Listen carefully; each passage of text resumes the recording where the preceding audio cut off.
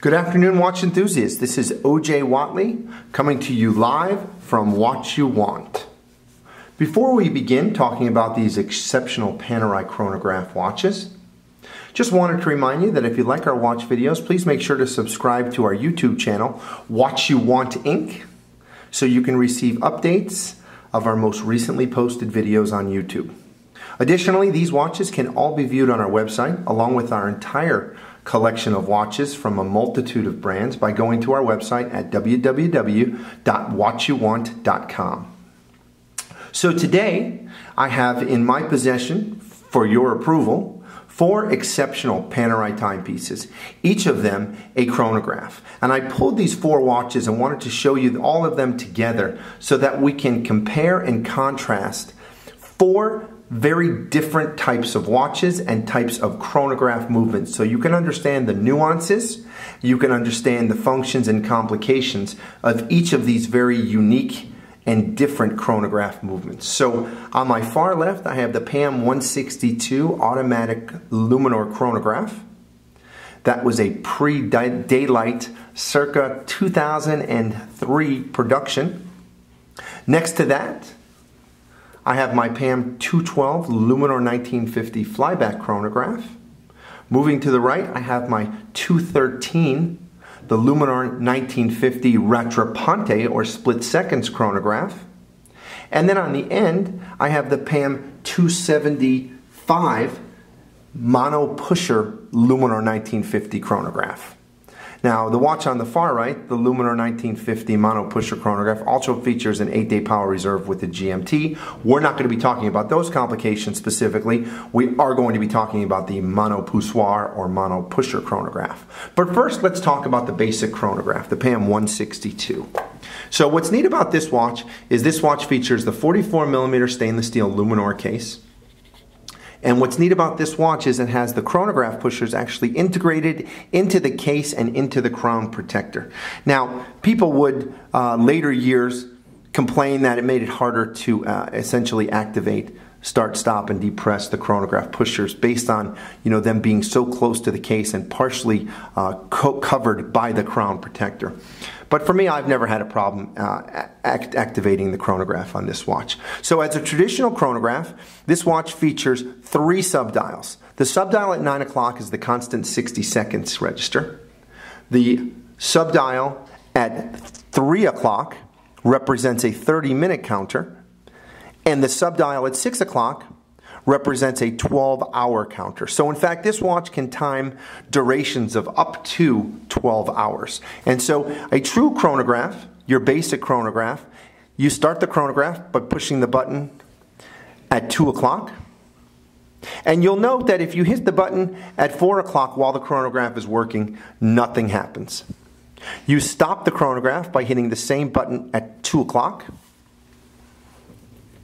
And in this case, we do feel, we do see why this watch was a little harder to activate. In either case, you hit the button at 2 o'clock, it stops the chronograph. You hit the button at 4 o'clock, and it resets the chronograph. That is your basic chronograph complication. Now we get to the flyback complication. In a flyback complication, this allows you to reset the chronograph while the chronograph is still in operation. So we would start the chronograph by pushing the button at 2 o'clock.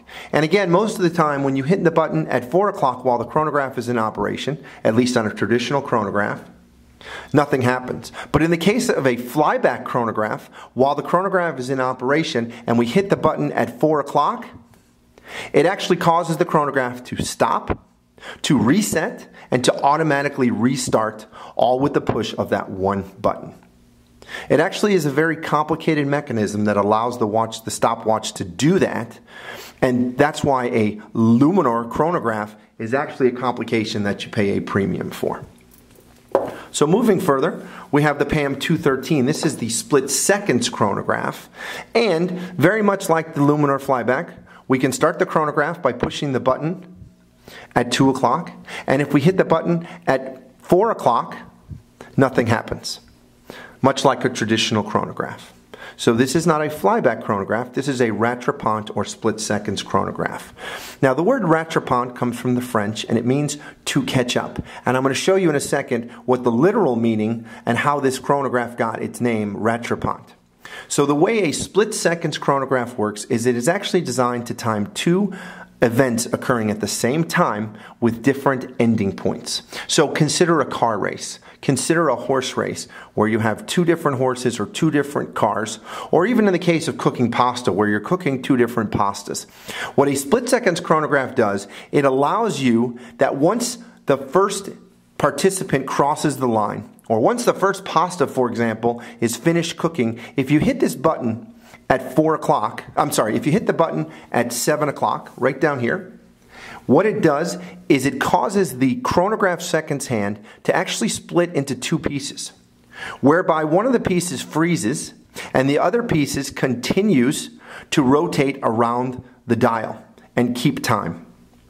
And so what you can actually do is see exactly how long it took the red card across the line and how long it took for the yellow card across the line. And now you can compare the split lap timing or the split timing differential between the first participant and the second participant. Now here's where we get to the namesake of this watch, the Rattrapant. Right now the chronograph is not in operation. And while the chronograph is not in operation, if we hit this button at 7 o'clock, it will cause the chronograph hand that's separated into two pieces to join as one. And essentially what happens is that other piece that froze catches up. Rattrapant, which comes from the French, means to catch up. And in this case, when you activate the rattrapant, it causes one hand to stop and the other one to continue. And if we hit this button while the chronograph is in operation, it causes that frozen piece to catch up. Hence the name rattrapant.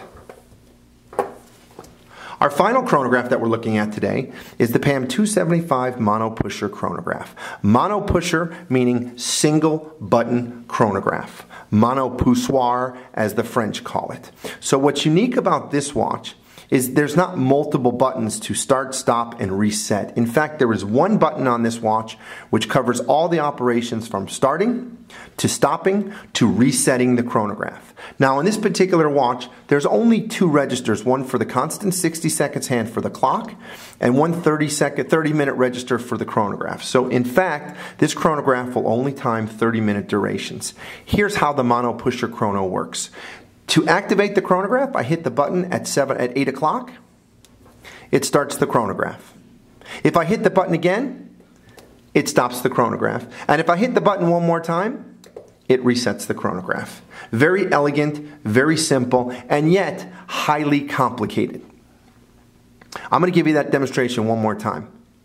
To start the chronograph, I hit the button. I can allow that to run forever if I want.